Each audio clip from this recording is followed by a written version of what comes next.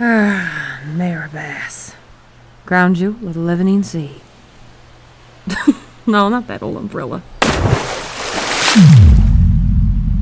There's my girl. Ain't she a beaut?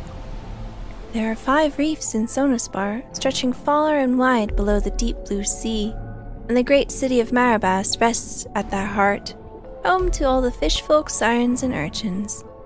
And even some, the Valthurans, have found their way down here from dry land. Those topsiders rolled into town loaded for bear with a whole lot of tubes, a whole lot of promises, and a whole lot of guns. And all under a banner of peace, with hands extended in friendship. But the tide ebbed and flowed, the months swelled to years, and Valthur's grip tightened. And what they left behind when their engines cooled was a blight the likes of which reef has never seen before.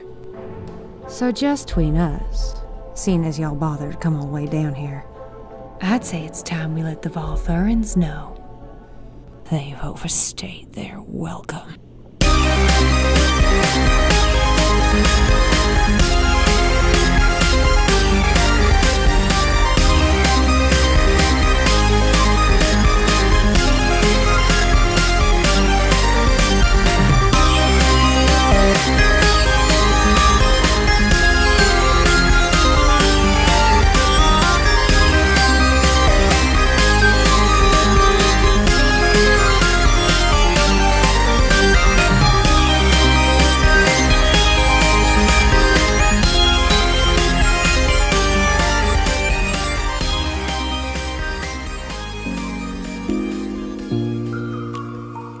Brine and Blight, The Traitors of Sonaspar, a new Cypher System campaign from Stellaluna and Tricksy Wizard, coming this fall to twitch.tv slash Stellaluna.